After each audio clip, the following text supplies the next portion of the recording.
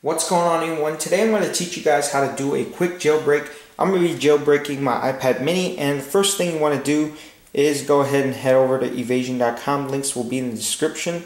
And this jailbreak will work for any device that's running on 6.0 to 6.1. So after you head it over to the website, go ahead and choose your platform. So I'm running on Mac, so I'm going to go and click on that.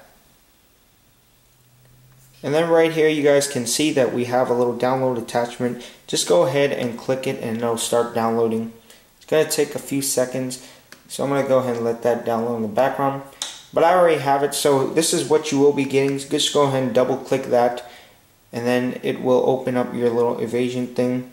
Double click on that and then let it allow it to open and you should get this little folder here and it will tell you to connect your device. For me, I'm going to be jailbreaking my iPad mini here. So the next step you want to do is just go ahead and uh, plug in your iPad or whatever device you're running on.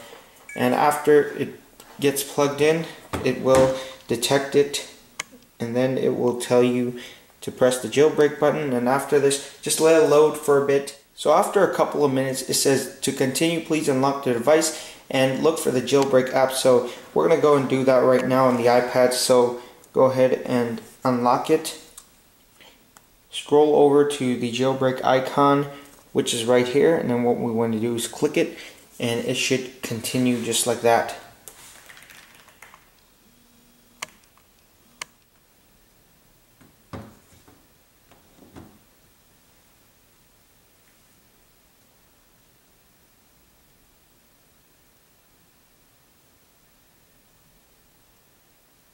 So it's going to go ahead and export and it should say your device is going to restart a couple of times and then after that it should be complete and your device should be jailbroken. So I hope you guys enjoyed this video and I hope it helped. And remember to like this video if it did and subscribe because I have a lot of cool content coming here as well. So thank you guys for watching and I'll see you guys in the next video. Peace.